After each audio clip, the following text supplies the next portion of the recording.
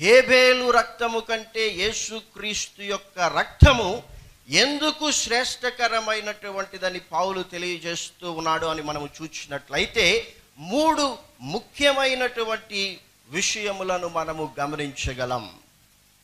అందులో మొదటిది ఏమిటంటే హేబేలు రక్తము మొర్రపెట్టింది అయితే ఆ హేబేలు రక్తం అన్నటువంటిది కయ్యను జీవితాన్ని మార్చలేకపోయింది పవిత్రపరచలేకపోయింది.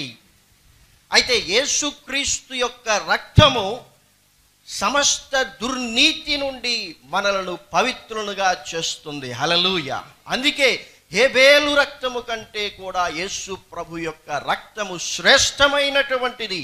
హేబేలు రక్తము మొరపెట్టింది కానీ కయ్యను జీవితాన్ని అది మార్చలేకపోయింది. యేసుక్రీస్తు ప్రభువుల వారు చెందించినటువంటి రక్తము మొరపెట్టింది. ఆయన రక్తము మనలను పవిత్రులుగా చేస్తుంది. అందుకే యోహాన్ రాస్తూ మొదటి పత్రిక మొదటి అధ్యాయం ఏడో వచనములో అంటూ ఉన్నాడు ఆయన వెలుగులోనున్న ప్రకారము మనమును వెలుగులో నడిచిన ఎడల మనము అన్యోన్య సహవాసము కలిగి ఉందుము. అప్పుడు ఆయన కుమారుడైన యేసు రక్తము ప్రతి పాపము నుండి మనల్ని పవిత్రులుగా చెయ్యను ఆయన రక్తము సమస్త దుర్నీతి నుండి మనల్ని కడిగి పవిత్రపరుస్తుందని దేవుని వాక్యము తెలియజేస్తూ ఉంది. రెండవదిగా మనము చూసినట్లయితే హేబేలు రక్తము మొర్రపెట్టినప్పటికీ కూడా ఆ యొక్క కయ్యను అపరాధిగానే ఎంచబడ్డాడు. అయితే యేసుక్రీస్తు రక్తము వలన ఇప్పుడు మనము నీతిమంతులముగా తీర్చబడ్డాం. హలలుయ అందుకే అపోస్తుడైన పౌలు రోమా సంఘానికి రాస్తూ ఐదవ అధ్యాయం తొమ్మిదవ వచనములో అంటూ ఉన్నాడు. కాబట్టి ఆయన రక్తము ద్వారా అనగా యేసుక్రీస్తు యొక్క రక్తము వలన ఇప్పుడు నీతిమంతులముగా తీర్చబడి మరి నిశ్చయముగా ఆయన ద్వారా యేసుక్రీస్తు ద్వారా ఉగ్రత నుండి రక్షింపబడుదుమో. ఇక్కడ హేబేలు రక్తము మొరపెట్టింది. అయితే కయ్యేను మీదికి ఆ శిక్ష వచ్చింది.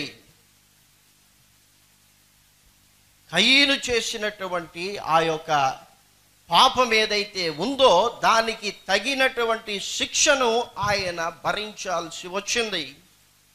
ఆయన రక్తము అనగా హేవేలు రక్తము కయ్యను నీతిమంతునిగా తీర్చలేకపోయింది. అయితే యేసు రక్తము పలికినప్పుడు ఆ రక్తము చిందింపబడినప్పుడు మనము నీతిమంతులముగా తీర్చబడ్డామని దేవుని వాక్యము తెలియజేస్తూ ఉంది. మూడవదిగా మనము చూసినట్లయితే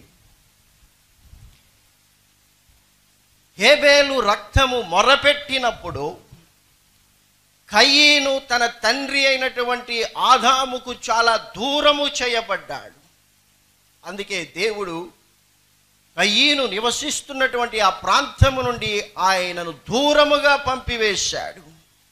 తన శరీర సంబంధమైనటువంటి తండ్రి అయినటువంటి ఆదాముకు కయ్యను దూరముగా చేయబడ్డాడు. అయితే క్రీస్తులో ఆయన రక్తము వలన దేవుడు మనలను తనకు సమీపముగా చేశాడు. హలలుయ అందుకే అపోస్తుడైన పావులు ఎఫ్ఎస్సి సంఘానికి రాస్తూ రెండవ అధ్యాయము పద్మూడవ వచనములో అంటూ ఉన్నాడు. అయినను మునుపు దూరస్తులైనటువంటి మీరు ఇప్పుడు క్రీస్తు నందు క్రీస్తు రక్తము వలన సమీపస్తులై ఉన్నారు. ఒకప్పుడు మనందరము కూడా దేవునికి దూరముగా నివసించేటువంటి వారము జీవించేటువంటి వారు అయితే ఇప్పుడు యేసుక్రీస్తు నందు క్రీస్తు రక్తము వలన మనము దేవునికి సమీపస్తులుగా చేయబడ్డాము. అందుకనే హేబేలు రక్తము కంటే యేసుక్రీస్తు రక్తము శ్రేష్టమైనటువంటిది. ఇప్పుడు యేసుక్రీస్తు యొక్క రక్తములో కడగబడినటువంటి మనము పవిత్రపరచబడినటువంటి మనము నీతిమంతులముగా తీర్చబడినటువంటి మనము దేవునికి సమీపస్తులుగా చేయబడినటువంటి మన జీవితాలలో పరిశుద్ధ గ్రంథము ఏది శ్రేష్టమైనదని తెలియజేస్తూ ఉందో ఆ శ్రేష్టమైనటువంటి దానిని మనము పొందుకోవాలి దానిని అనుసరించేటువంటి వారిగా ఉండాలి.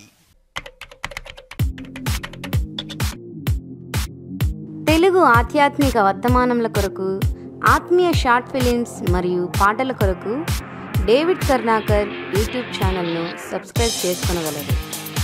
లైక్ చేయండి షేర్ చేయండి బెల్ ఐకాన్ ప్రెస్ చేయండి.